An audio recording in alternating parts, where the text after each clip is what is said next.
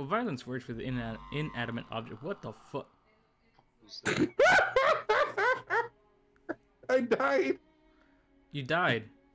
Just, just straight up, just dead. What? Did I or was it a safe spot?